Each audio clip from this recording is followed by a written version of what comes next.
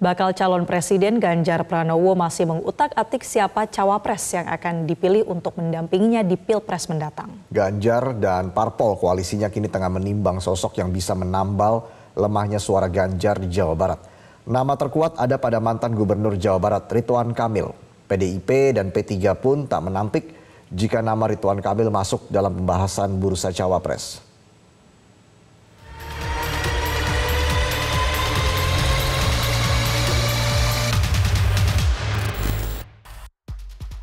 Tersisa satu bulan lagi jelang pendaftaran Capres-Cawapres untuk Pilpres 2024.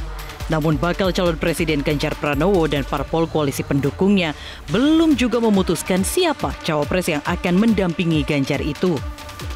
Nasib Sandiaga Uno yang disodorkan P3 sebagai cawapres Ganjar itu pun menggantung dan bisa jadi tak dipilih.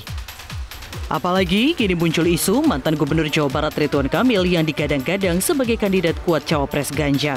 Bahkan, Ridwan Kamil juga sempat memberi kode perihal akan adanya breaking news. Insya Allah akan memberikan yang terbaik. Tapi kalau minggu depan ada breaking news ya mohon dimaklumi. Kodenya itu aja. Terima kasih. PDI Perjuangan pun tak menampik nama Ridwan Kamil masuk dalam pembahasan internal partai sebagai cawapres pendamping Ganjar. Meski begitu, PDIP tetap menunggu diskusi antara Ketua Umum Megawati Soekarno Putri dengan Ketua Umum Parpol pendukung Ganjar lainnya. Dibicarakan juga adalah uh, Kang Ridwan Kamil beserta nama-nama lain. Ada siapa saja? Ada lima kan yang disampaikan Mbak Puan. Bisa saja perempuan kan? Bisa saja Mbak Kofifa.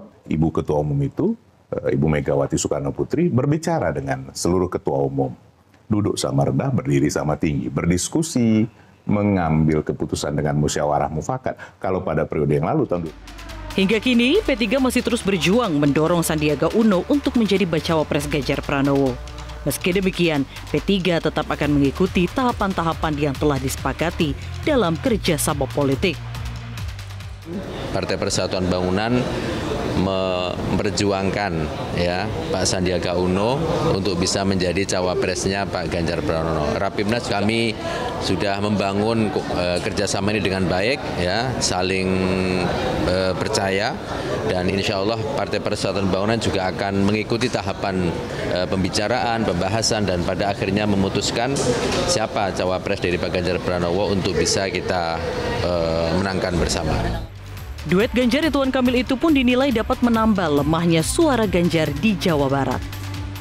Ganjar Pranowo itu adalah suaranya yang tidak terlampau signifikan di Jawa Barat. Oleh karena itu, kalau Ridwan Kamil yang jadi wakilnya Ganjar Pranowo, tentu kelemahan Ganjar di Jawa Tengah bisa ditutupi. Kalau duet ini terjadi, maka sangat mungkin Ganjar menang di Jawa dengan Ridwan Kamil. Karena kalau kita melihat basis konstituennya Ganjar, Jawa Tengah, Jawa Timur, dan ada Ridwan Kamil. Nah, tiga provinsi ini kan adalah battleground yang kemudian memungkinkan betapa akan terakumulasi suara yang cukup signifikan. Secara elektabilitas, nama Ridwan Kamil masuk di urutan kedua setelah Erick Thohir di angka 20,1 persen, disusul Sandiaga Uno 17,5 persen. Kini, PDIP dan parpol pendukung Ganjar masih menggodok sejumlah nama pendamping Ganjar itu. Mulai dari Sandiaga Uno, AHY, Andika Perkasa, Ridwan Kamil, Mahfud MD, Gibran Raka Buming Raka hingga yang terbaru Kofifah Indar Parawansa. Tim Liputan Metro TV.